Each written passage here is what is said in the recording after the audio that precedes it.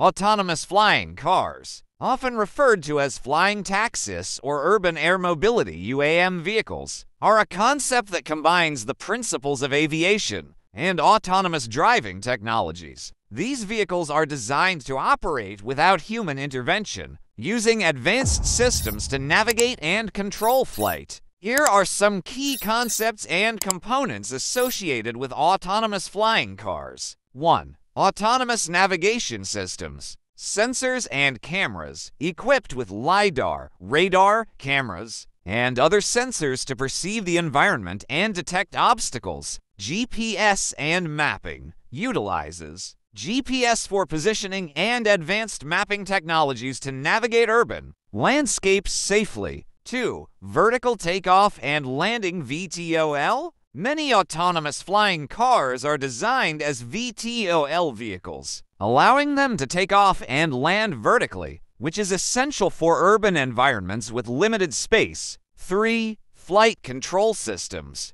Advanced algorithms and artificial intelligence AI are used to manage flight dynamics, ensuring stable and safe operation in various conditions. 4. Safety and redundancy. Safety is a paramount concern, leading to the development of redundant systems for critical components, for example, multiple engines or backup navigation systems to ensure reliability. 5. Regulatory framework. The development of autonomous flying cars involves navigating complex regulatory landscapes, including air traffic management systems that can accommodate increased aerial traffic. 6. Energy sources. Many concepts focus on electric propulsion systems, including battery powered or hybrid electric designs, which aim to minimize environmental impact. 7. Urban Air Mobility UAM the broader vision includes integrating these vehicles into existing transportation networks,